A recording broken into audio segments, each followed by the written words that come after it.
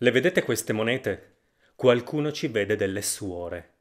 Ma andiamo con ordine. Nell'ultimo episodio abbiamo letto la pagina del Codice Atlantico in cui Leonardo descrive un gioco di prestigio.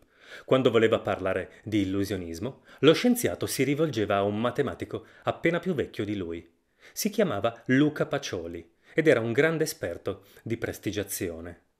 Conosceva così tanti trucchi magici da averci lasciato un poderoso manoscritto, il De Viribus Quantitatis, pieno di effetti di cartomagia e lettura del pensiero. A volte provo a immaginarmeli mentre parlano di magia o si scambiano un trucco, ma se vogliamo cercare prove documentali, bisogna mettere a confronto i manoscritti dei due. E il libro di Pacioli è una fonte continua di sorprese, per un motivo in particolare. Di questo libro abbiamo solo le bozze. Ci sono poche figure, lui lasciava gli spazi per le illustrazioni, pensando che un giorno le avrebbe aggiunte.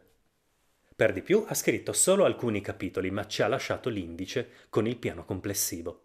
Se cerchiamo il gioco delle monete descritto da Leonardo, non lo troviamo. Sarà in uno dei capitoli che non ha scritto? Consultando il sommario, troviamo i titoli dei capitoli ancora da scrivere. Uno di questi è veramente assurdo. L'abate che controllava le monache contandole sera e mattina su ogni lato del monastero, che da queste fu ingannato e che dovette andarsene disperato. Ma che gioco di magia può essere? Io seguo la lezione di Robert Darnton, secondo cui quando si legge un libro antico, quando non riusciamo a cogliere il senso di un proverbio o di una battuta, sappiamo di essere sulla buona strada. Sollecitando il documento là dove è più oscuro, possiamo forse dipanare un sistema di significati a noi estraneo. Il filo potrebbe persino portare a una visione del mondo inconsueta e meravigliosa. Luca Pacioli annuncia il capitolo nell'indice, ma non lo scrive. Come possiamo leggerglielo nella mente 500 anni dopo la sua morte? Si fa quello che Guglielmo da Baskerville fa nel nome della rosa. Quando un libro o un capitolo va perduto, lo si può ricostruire leggendo altri libri. Per esempio, il primo dei quattro volumi delle ricreazioni matematiche di Jacques Ozanam, dove si parla di un convento di suore birichine. Nella mia edizione, a pagina 172. Il convento è quadrato ed è composto da nove celle. In quella centrale abita l'abate, che fa anche il custode. Quando è ora di andare a dormire, l'abate conta le suore. Ce n'è tre in ciascuna delle otto celle, per un totale di nove monache su tutti i quattro lati. 369, 369, 369, 369. Vi ricorda qualcosa? Volete dare una sbirciatina al quadro A sul manoscritto di Leonardo?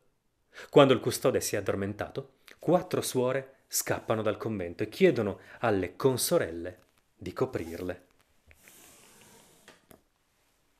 Queste, quindi, si riorganizzano spostandosi da una cella all'altra.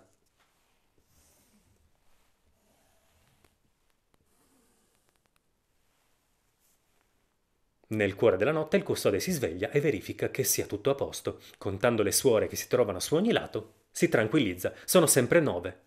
41549, 41549, 41549, 415 e 49.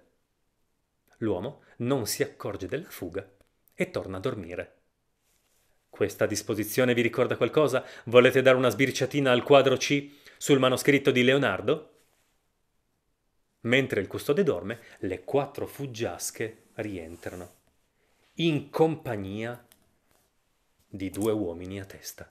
O donne, eh, vale qualsiasi orientamento. Insomma, rientrano in dodici, hanno abbordato gente e per essere generose ne hanno anche per le consorelle. Le suore si riorganizzano fanno spazio ai nuovi entrati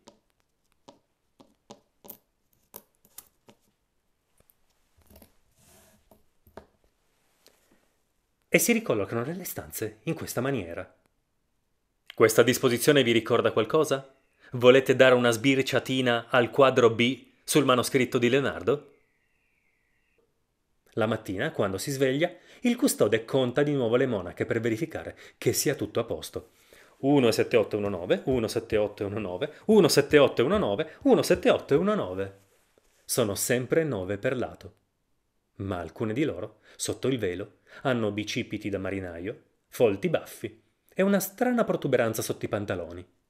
Come la intitolereste questa storia? Tipo l'abate che controllava le monache contandole sera e mattina su ogni lato del monastero che da queste fu ingannato e che dovette andarsene disperato?